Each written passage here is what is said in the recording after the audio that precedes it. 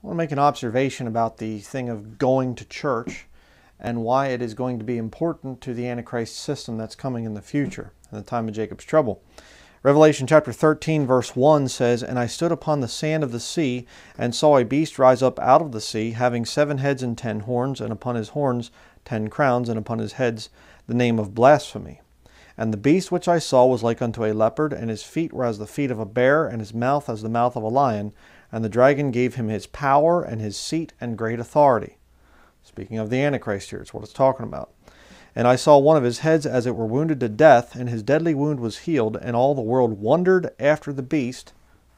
Look at this.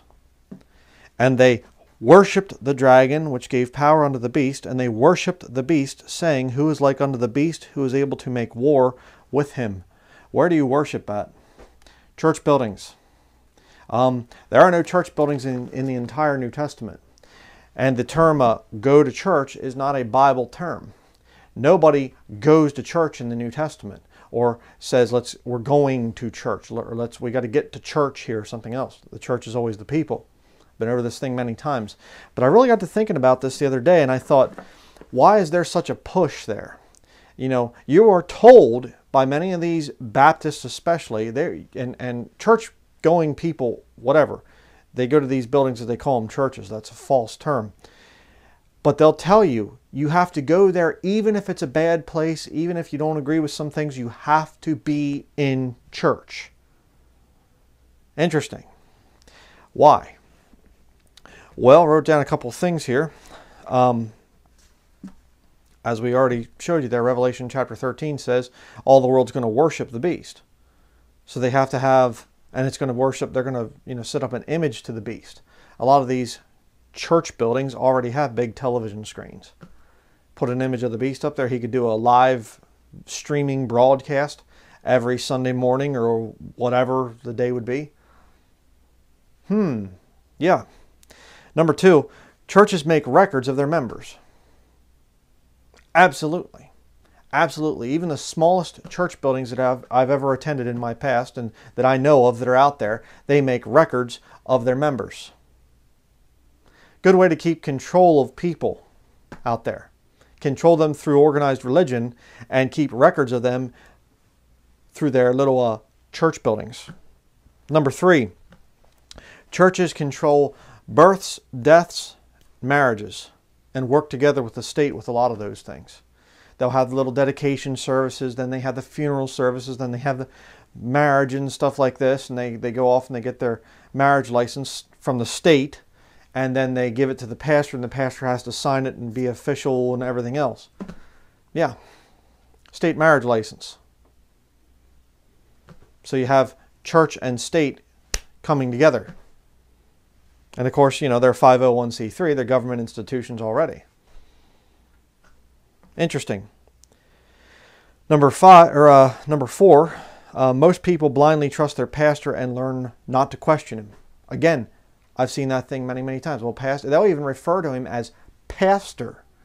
There's no title given there where somebody's calling themselves pastor. It's brother this or brother that. You know, pastor is a description, it's not a title in the New Testament.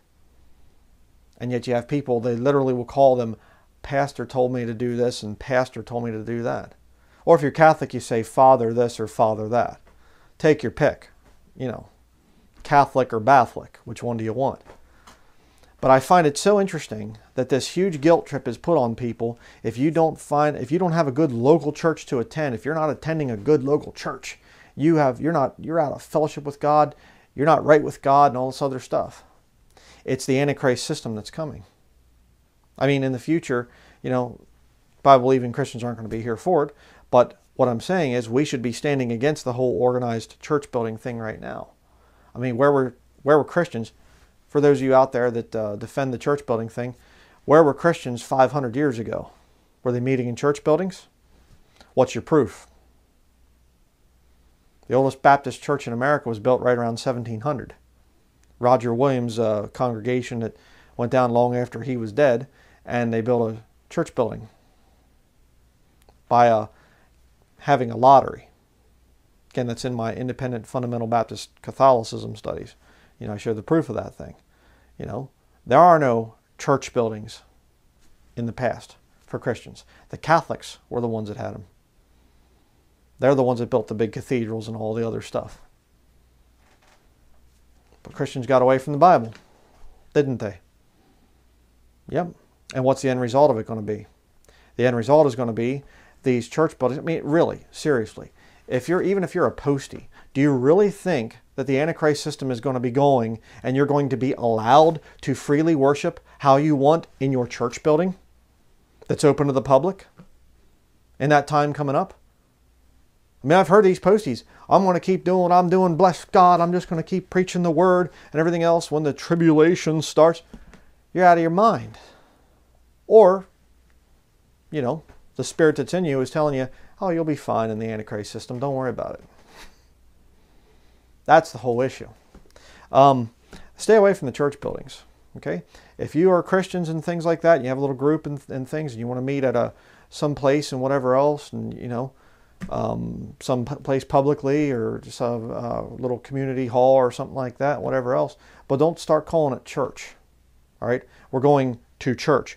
You're doing something that's not authorized in Scripture. And it's not because, well, they didn't know how to build church buildings in the first century, or they, they just didn't have the idea yet. You know, again, Catholicism. That's the whole basis of Catholicism. We are the church that Christ founded. You say, really? Where's a sacrament at in here? Where are the nuns? Where are the monks? Where are the uh, cardinals? The archbishops? The pope? Where's that at? Where's the Vatican? Where's the word Catholic? Where's the Eucharist? Where's transubstantiation? Where's oh, that came later. You see? Say to the Baptist, uh, hey, where's your church building at in the New Testament? Well, that came later. They didn't do it the first century because they weren't as bright as we are today. They didn't do it for over a thousand years, you know, well over a thousand years, but we got it all settled today and we're much stronger than Christians were in the first century. They were kind of, you know, didn't quite have it all together there. So we have the pagan temples of the day. It's disgusting truly disgusting. So stay away from Bible buildings. If you want to meet together with other people, meet. You don't have to just, you know, we have to have a house church and stuff. And again, I got to just say this. I hear these, these, you know, pathetic people and they say, oh, well, I'd like to point out that meeting in a house is still meeting in a building. oh, yeah, but, you know, nobody calls their house church you know, and you don't have all the special little things and stuff, the little adornments and whatever else, and you, you act a certain way when you, when you go to church, you know. Mm-hmm. Yeah. Uh, you're not wrong for saying, I don't want anything to do with these church buildings out there. They're compromising, they're wicked, you can't get through to these people, whatever else. I'm leaving them. You're going to have a personal relationship with Jesus Christ. All right? You're not going to have that going to these Bible buildings. So enough on that. It just it just disgusts me when I see this whole thing. So uh, stay away from the ch- the uh, church buildings. Um, they're of the devil.